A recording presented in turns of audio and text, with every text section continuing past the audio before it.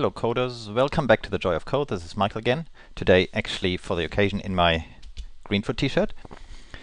Um, very fitting for what we're going to do. Uh, what I will talk about today is a bit of cleanup, that is, you know, um, explaining some concepts that we have encountered in passing but not really explained. So it is about concepts that you have seen in the code but where I have not provided the full explanation.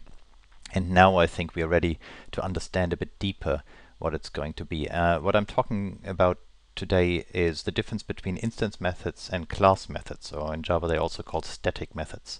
Um, so let's have a look at the code that we have seen before. Here's our um, bouncy ball example. Um, you have seen that in the last episodes. Here's our balls bouncing around. Um, let's have a look at the code. Um, specifically, we want to have a look at method calls. So if you look here into our code, what kinds of method calls we have in here, um, we have actually three different kinds of method calls that we have encountered. There is method calls like this one, at world edge. Um, the way it looks like syntactically is there's just the name of the method and a parameter list, that is a pair of round brackets that may or may not have anything in between them. Um, that is called an internal method call. An internal method call is one that calls a method that is defined in the same class or inherited from the superclass. So here the at world edge method is um, defined in the same class. If you scroll down here, here is actually the definition for this method. So this one when this at world edge is encountered in execution, actually just jumps down here, executes this bit of code, and when it gets to the end, jumps back up here. So that is what's called an internal method call. It's internal because the method that we're calling is in the same class. Then let's have a look at this class here. The, the other second kind of method calls that we've seen are external method calls. External method calls is something like here, mouse.getX or greenfoot get mouse info. So these are also method calls. The getX method is called, the get mouse info method is called. But these are external method calls, that is, the methods we're calling here are not in the current class that we're in here, they are somewhere else in a different class. And now, so external method calls always have what's called a receiver. You know, um, who are we uh, um, who are we calling this method on, and a dot, and then the method name. So external method calls always have this dot notation. So they have the method name after the dot, and who are we invoking the method on before the dot? Okay, that far, that is reasonably straightforward. Now comes the tricky bit the bit before the dot here is actually sometimes an object and sometimes a class. And this difference, uh, whether we have a class or an object before the dot, we have very much glossed over before and, and not talked about it at all. Um, syntactically, we can in Java recognize that often because Java, uh, in Java classes start with a capital letter, such as Greenfoot, and objects start with a lowercase letter. Java unfortunately does not enforce this. This is just by convention.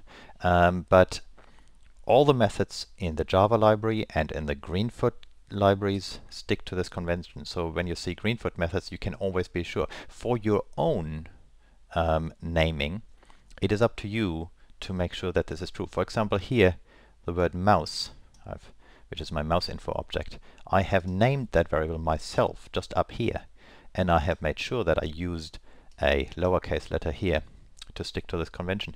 You could screw that up and, and you know use a um, uppercase letter here or you could in your own classes that you define start with a lowercase letter. The Java system will not stop you from doing this but you will confuse every other Java programmer. So don't do that.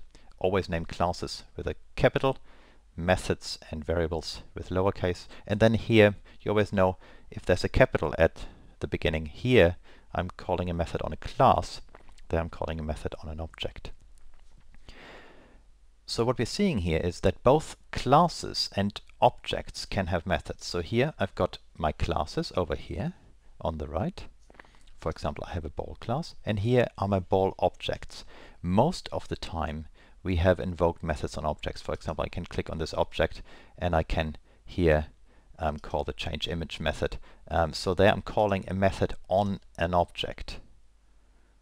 And if I go to the class, there actually is no other method other than the constructor, which is a very specialized thing. Um, some classes have methods, and they would appear here. Now, the normal case is that methods belong to objects, and these are then called instance methods instance methods because instance is a synonym for object. So if I have an instance method, that's a method of the object. And almost all methods that we have seen, for example, the act method here, is an instance method. Um, if you write your methods in the way that we have seen it so far in all of the examples, you are always writing instance methods and you get the instance methods, which means to invoke those methods, you first need an object of that class and then you invoke the method on that object. There are only some very special cases where you have class methods.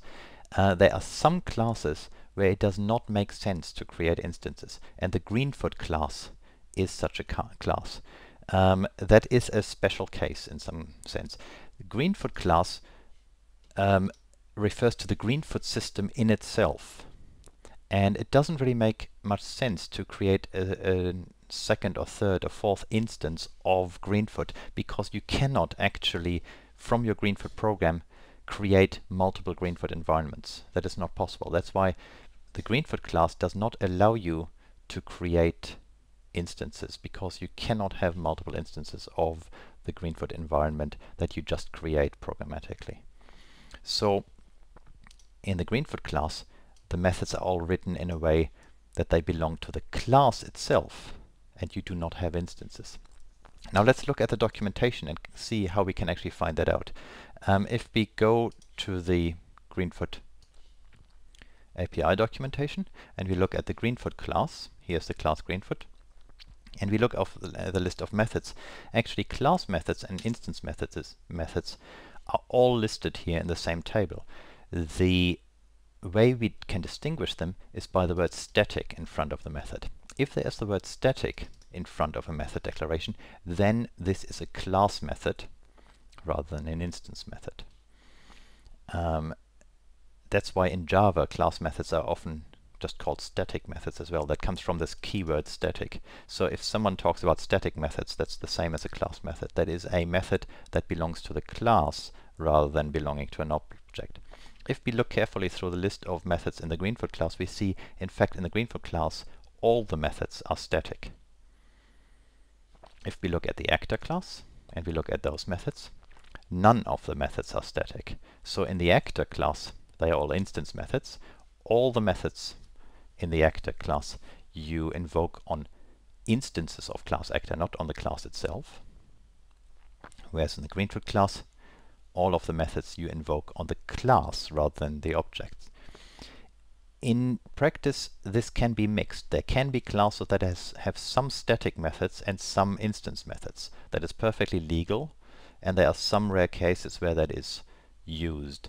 In the Greenfoot API, it is strictly separated. The Greenfoot class has only static methods, and all of the other classes have only instance methods, so no static here, which means in practice only when you call Greenfoot classes do you have a class name in front of the dot. And for every other class, this whatever is before the dot needs to be referenced to an object. And very often it is a variable holding the object. Sometimes it is a method call returning the object. But this is really the the difference. Because we have, if we wanted to write a class method ourselves, we would have to write the keyword static in front of the method definition. We don't do that right now. It is does not happen very often that we need that. So this is just now for you to understand why sometimes you're writing a class name in front of the um, method call and sometimes you have an object in front of the method call. If you're not sure, look at the documentation, check whether the method is static or not. Every method is either static or it isn't and that tells you whether it expects before the dot a class or an object. In Greenfoot, as I said before, only the Greenfoot class has static methods. All other methods are object methods. Okay, that's it for today. Just a bit of theory this time without actually doing anything new constructive. In the next video, we get going again with actual programming. See you next time.